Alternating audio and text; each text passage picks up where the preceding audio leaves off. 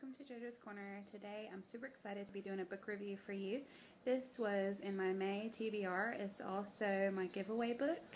It's Her Family Wish by Betsy St. Amant. I'm going to go ahead and read the synopsis for you. It says, Taking pictures of other people's happiest moments is the perfect job for Hannah Hart. Secretly fearing that she won't ever have a family of her own, Hannah prefers to hide behind the camera until she meets assistant principal Jude Bradley, whose 12 year old daughter instantly bonds with Hannah. Jude might just be the man to give Hannah a reason to smile if he can let go of the past. The more Hannah and Jude discover they have in common, the more Hannah wonders if there's a family in her future after all. It's Her Family Wish by Betsy St. Amant. I have to tell you guys, I absolutely adored this book.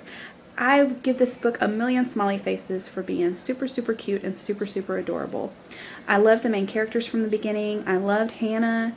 Um, I loved that the author chose the world of photography as the setting for her story. I thought that was super unique. I had never really read uh, another book that, that did did that, and um, so I thought it was really cool. Um, I also liked the male lead character Jude, even though he was a bit of a hard nose in the beginning. To me, he was just like the beast to our beauty, our Belle, you know.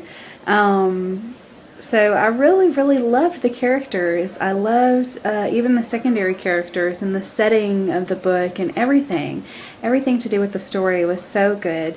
Um, I also liked that the author chose to pick something that was culturally relevant, which was what basically what our school systems are kind of going through financial struggles right now.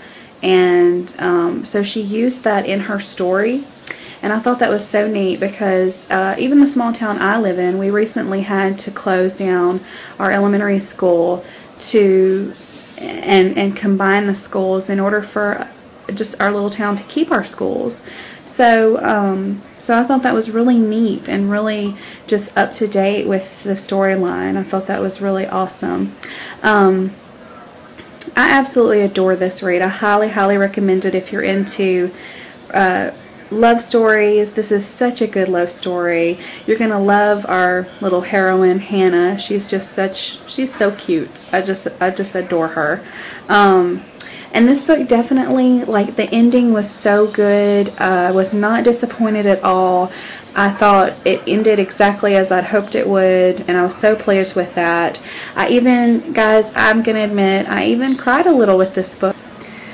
Yeah, I would say I got a little teary-eyed with this one, especially on page 210. I'm not going to give this away, but I'm just going to say on page 210 where Hannah says, are you waiting for Hannah Hart? And Jude's response to me was just like, oh my gosh, that's so sweet.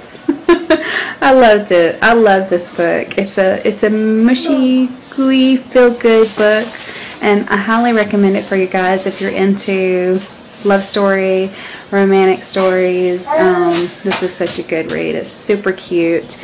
And it's also like, it deals with, um, these main characters have to kind of work through some issues in their life, some things from their past that they're dealing with. You know, there were some serious issues in there, some things, some real sensitive topics that the author uh, talked about I think she did it with a lot of class. I think it was written super, super well. And it sort of helps us as readers to think about things in our life that may be keeping us back from living our life to the full, for living our life the way that God has destined us to live. And um, this book encourages you to work past your own insecurities and just start living life in the abundant life yeah. So I really, I love this read. I highly recommend it. I have to say that this is probably my favorite love inspired that this author has written. Yeah, that's how much I liked it. It was so good. And I recommend it for you guys today. It's Her Family Wish by Betsy St. Amant. And yeah, from JoJo's Corner, happy reading. Bye, everybody.